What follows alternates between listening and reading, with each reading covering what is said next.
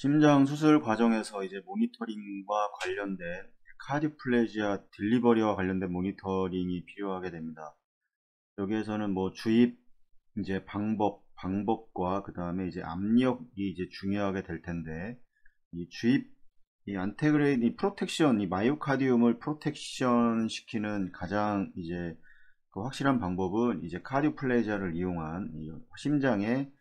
이완을 통한 이 myocardial protection이 이제 진행이 되게 되는데 이건 크게 이제 protection의 방법은 두 가지로 나눌 수가 있습니다. 이제 cold 이 cold blood 이제 이 cardioplegia를 이용을 해서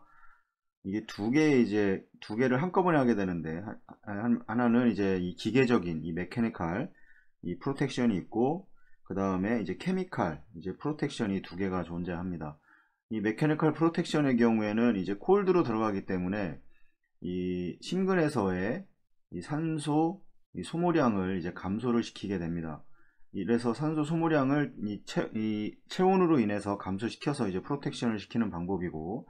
하나는 이제 chemical 이 가장 이 chemical chemical로 사용되는 게 이제 포타슘인데 이 포타슘을 이용해서 이제 심근을 이제 이완을 시켜서 이것도 마찬가지로 이 산소의 이제 소모량을 이제 줄이게 되는 이런 방법을 취하게 되고 대부분이 이제 cold, 이제 blood, cardioplegia나 아니면 cardioplegia의 종류는 이제 crystalloid, 이제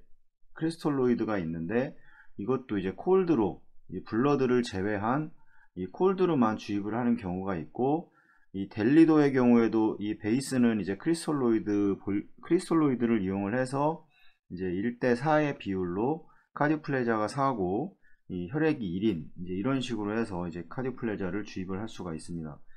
방법이나 뭐 여러 가지 종류는 뭐 따로 네, 다, 다음에 예전에도 말씀을 드렸었지만 이런 방식으로 해서 이제 심근에 이제 protection을 이제 진행을 진행을 하고 있는 거고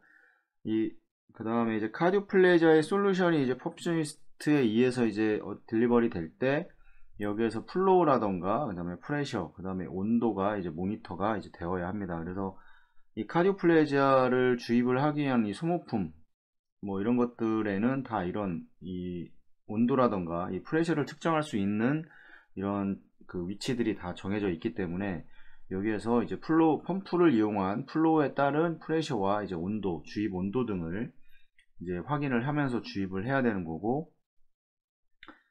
delivery system과 이제 cannula를 통해서 이제 pressure drop에 의지를 해서 이제 aortic root pressure는 이제 모니터가 될 수가 있습니다. 그 다음에 이제 flow rate를 맞춤으로써 이 적절한 이 레벨을 조절을 할 수가 있는데 cardioplegia에서의 주입 방법은 크게 이제 antegrade 방법과 이제 retrograde 방법이 있는데 크게 가장 이 두 가지가 크게 나눠질 겁니다. antegrade 방법은 이제 aortic 이제 root를 통해서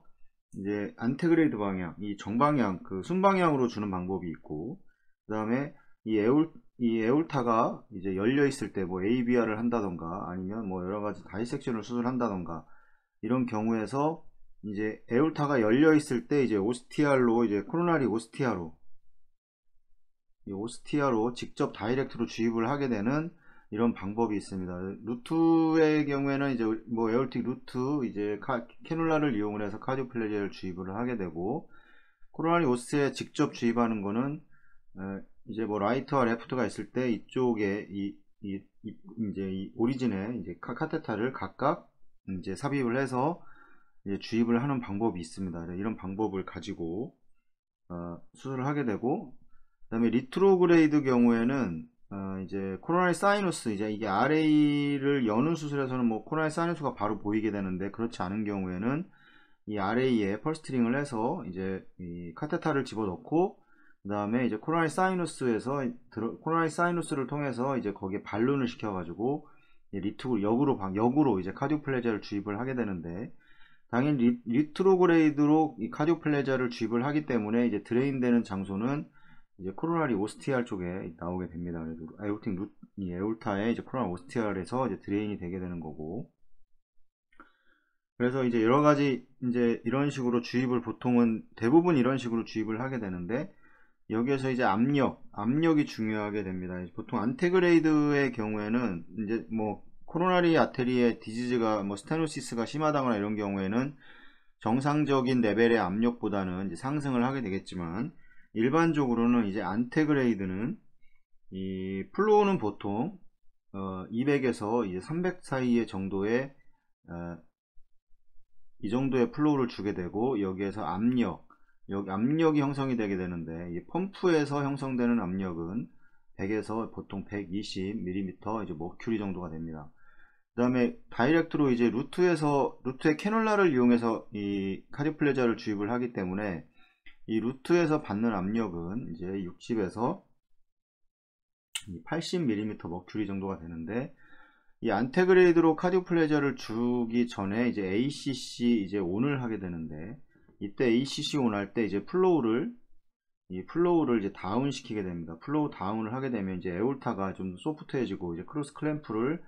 하기가 좀 더 용이해지고 이제 aortic root에 catheter가 들어가 있고 이제 cardioplegia를 주입을 하게 되는데 이때 좀 한번 확인해야 될 사항은 이 cardioplegia 주는 단계에서 이 flow down을 시행을 하게 되고 이 flow down 과정에서 drain이 많이 되게 됩니다. 그러면 당연히 이제 coronary sinus에서 drain 되는 양이 많기 때문에 이 cardioplegia를 주입을 할 때 이 aorta에서 들어가는 압력과 coronary sinus에서 이 걸리는 압력의 이 difference, difference가 높아지기 때문에 이 cardioplegia가 더 배액이 잘 됩니다. 그래서 심장이 이 케이지가 움직이고 있을 때 이제 standstill 될 때까지는 이제 flow를 잠시 좀 낮춰놓는 게 cardioplegia가 이제 원활하게 이제 myocardium으로 주입이 되는데 에, 이게 좀 더 유리할 수가 있습니다. retro retrograde의 경우에는 보통은 이제 RCSP cannula라고 해서 어, retrograde coronary sinus perfusion 이제 cannula라고 해서 이, 제 보통 manual balloon과 이제 auto balloon으로 크게 두 가지가 나눠지게 되는데 대략 뭐 15 French 정도를 사용한다고 했을 때 이때의 flow는 보통 100에서 150mm 아, 리터 per min 이제 이 정도의 flow를 유지를 하게 되고 이게 너무 많이 상승을 하게 되면 안 됩니다. 여기에서 압력은 보통 이제 펌프에서는 이제 어, 한 60에서 보통 100 정도 걸리는데 이 root에서는 cardio 이 retrograde catheter는 거기에 이제 압력을 재는 게 실제적으로 있습니다. 그래서 이 coronary sinus에서 걸리는 압력은 20에서 뭐 30 이하로 유지를 해야 됩니다. 이게 너무 높아지게 되면 이제 그 혈관에 damage를 받을 수가 있기 때문에 그래서 항상 이제 압력이라는가 이런 게 cardioplegia를 주입을 하면서 상당히 중요한 그, 그 모니터링이 될 거고 만약에 암, retrogra antegrade의 경우에는 이제 상승을 할 수, 뭐 coronary sinus, coronary에 disease가 있는 환자들은 상승을 할 수가 있습니다. 이 정상 범위 내에서는. 그러면 flow를 왜 200에서 300 정도의 에, 이걸 주느냐 cardioplegia에서 antegrade에서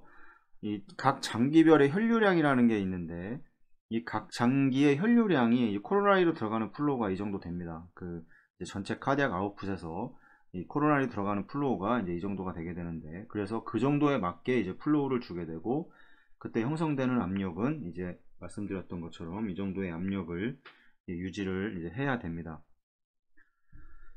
그래서 이제 cardiople cardioplegia solution을 직접 이제 coronary ostia로 주거나 아니면 coronary sinus로 retrogra, retrograde하게 이제 deliver 할 때 이 프레셔 모니터링이 이제 상당히 중요하게 되고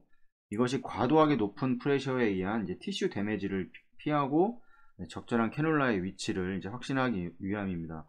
이 RCSP 캐놀라를 이용해 코로나 사이누스에 이제 삽관이 되어 있을 때는 아, 이때는 압력이 상당히 중요한 게 압력이 잘 안 걸리거나 이럴 때는 이제 그 코로나 사이누스에 정확하게 발룬이 잘 안 돼 있어서 위치가 부정확한 확률이 높습니다. 보통 이제 flow를 100이라고 100 정도를 이제 공급을 하고 있을 때 만약 20에서 30 이내에 걸린다 그러면 적정한 압력이라 할 수 있는데 그 이하로 걸린다거나 이러면 cannula가 위치가 좀 조정을 해야 될 겁니다. 그다음에 심장을 계속해서 움직이는 수술들 같은 경우, CABG 이런 경우, 이런 경우나 이런 이런 경우에서는 이제 그 catheter의 위치가 이제 잘 변할 확률이 높습니다. 그래서 이 압력에 대해서 좀 더 이 면밀히 관찰을 해야 되고 이 어떤 cardioplegia의 cannula는 이 second pressure monitoring line이나 이 lumen을 통해서 이제 infusion pressure를 직접 측정이 가능합니다. 이게 보통 이제 RCSP cannula들이 다 이 pressure를 측정하는 게 있고 이제 balloon을 하는 게 있고 auto balloon, manual balloon의 경우는 이제 따로따로 되어 있는데 이런 식의 모니터링을 가능하게 되고 이 aortic root pressure가 이제 직, 직접 측정되지 않는다면 이제 aortic 이 root pressure는 이제 cardioplegia line pressure에서 이 delivery system의 이제 pressure drop으로 이제 추정할 수가 있습니다. 뭐 200에서 뭐 300 정도의 예, flow를 antegrade로 주고 있을 때 이때 압력이 펌프에서 100에서 이제 120 정도의 이 millimeter mercury 정도의 압력이 걸려야 되는데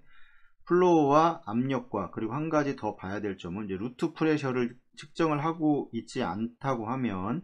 그럼 심장이 이제 멈추는 이 EKG의 이제 모양을 좀 봐야 됩니다. 잘 들어가고 있다면 이제 ST가 ST가 이게 상승을 하면서 점점 heart rate는 느려지고 나중에는 이제 standstill이 되는 이제 이런 이 형상을 이 정상적인 형상을 이제 보이게 될 것이고 이 카디오플레지아 이제 솔루션과 이 마이오카디움의 온도 이 모니터링은 적절한 카디오플레지아를 확인할 수 있고 인퓨전에 대한 가이드를 줄 수가 있습니다. 마이오카디움의 이제 온도는 보통 15도 이하로 떨어뜨리게 됩니다. 이제 콜드 이제 카디오플레지아를 주입을 해서 그 양은 보통 이 뭐 이니셜에는 뭐 30ml 어, 킬로그램당 뭐 이렇게 주기 보통 이렇게 주게 되는데 이렇게 준다고 하게 되어 있는데 이거는 뭐 서전에 따라 좀 많은 차이가 있기 때문에 중요한 거는 이제 myocardium의 온도를 이제 15도 이하로 떨어뜨려서 어 이제 chemical과 mechanical 이 arrest를 유도를 해서 이제 protection을 진행하는 방향으로 가게 되고 이제 만약 intermittent하게 cardioplegia가 들어간다고 하면 이, 시, 이 수술을 함으로 인해서 뭐 룸 온도나 이런 거 원인으로 인해서 이 myocardium의 온도가 상승을 하게 됩니다. 그래서 보통 이제 intermittent하게는 20에서 30분 정도의 간격으로 어, 인터, 인터벌을 가지고 이제 cardioplegia를 주입하는 보통 이런 방법을 취하게 되고 뭐 이제 HTK 솔루션이나 뭐 이제 세포 내, 이 내를 내와 세포 외를 어, extra, extracellular와 intra를 비교를 했을 때 HTK 솔루션은 이제 intracellular에 이제 작용을 하는 거고 그래서 이거는 좀 더 시간이 한 3시간 정도 one shot에 주입을 하게 되는 거고 익스트라의 경우에는 계속해서